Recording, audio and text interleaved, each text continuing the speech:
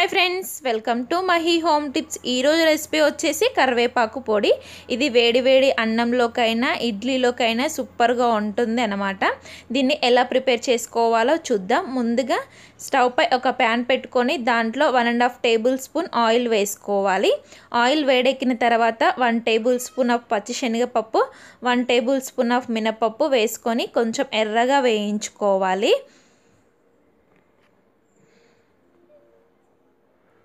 ఈ విధంగా ఇవి ఎర్రగా వేగిన తర్వాత ఇప్పుడు దీంట్లోకి వన్ టేబుల్ స్పూన్ ఆఫ్ ధనియాలు యాడ్ చేసుకోవాలి. తర్వాత హాఫ్ టేబుల్ స్పూన్ ఆఫ్ మెంతులు హాఫ్ టేబుల్ స్పూన్ ఆఫ్ జీలకర్ర యాడ్ చేసుకొని మొత్తం ఎర్రగా వేయించుకోవాలన్నమాట వీటిని. మీడియం ఫ్లేమ్లో పెట్టుకొని వేయించుకోవాలి. ఇలా వేగిన తర్వాత ఇప్పుడు దీంట్లోకి కొంచెం ఇంగువ అదేవిధంగా కొంచెం పసుపు యాడ్ చేసుకోవాలి. తర్వా తర్వాత దీంట్లోకి ఒక పది పన్నెండు ఎండుమిర్చిని యాడ్ చేసుకోవాలి. ఇవన్నీ వేసుకొని వీటిలో ఎర్రగా వేయించేసుకోవాలి. ఇలా ఎర్రగా వేగిన తర్వాత ఇప్పుడు దీంట్లోకి మనం ముందుగానే ఫ్రెష్గా కరివేపాకుని కడిగేసుకొని ఆరబెట్టేసుకోవాలి ఫ్యాన్ కింద. వాటిని ఇప్పుడు రెండు కప్పులు నేను యాడ్ చేస్తున్నాను. ఈ విధంగా రెండు కప్పుల కరివేపాకు వేసుకొని మొత్తం వేయించుకోవాలి.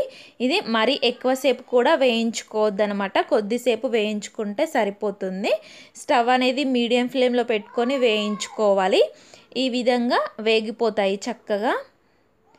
కరివేపాకు వాటర్ లేకుండా చూసుకోవాలి ఆరబెట్టేసుకోవాలన్నమాట ఫ్రెష్గా. తర్వాత మనకి ఈ విధంగా కరివేపాకు అదేవిధంగా ఎండుమిర్చి అన్నీ పర్ఫెక్ట్గా వేగిపోయాయి. ఇప్పుడు దీన్ని చల్లార్చేసుకోవాలి.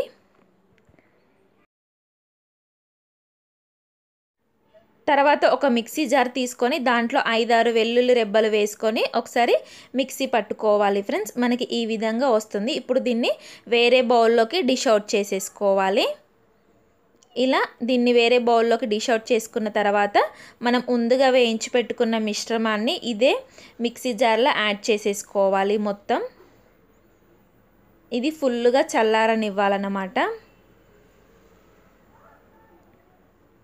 ఇలా మొత్తం వేసుకున్న తర్వాత ఇప్పుడు దీంట్లోకి కొంచెం పులుపుకు తగ్గట్టు చింతపండు వేసుకోవాలి.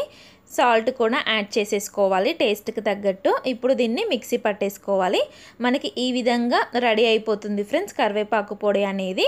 ఇప్పుడు దీంట్లోకి మనం ముందుగా మిక్సీ పట్టుకున్న వెల్లుల్లి రెబ్బలను కూడా యాడ్ చేసుకోవాలి. ఇలా మనం కచ్చపెచ్చగా వేసుకున్నాం అనుకోండి తినేటప్పుడు తగులుతాయి. చాలా బాగుంటుంది అన్నమాట టేస్ట్ అనేది. చూసారు కదా ఫ్రెండ్స్ చాలా సింపుల్గా కరివేపాకు కారం అనేది ఎలా రెడీ చేసుకోవాలో ఈ రెసిపీ మీకు నచ్చినట్టయితే లైక్ చేయండి షేర్ చేయండి కామెంట్ చేయండి. Thank you for watching friends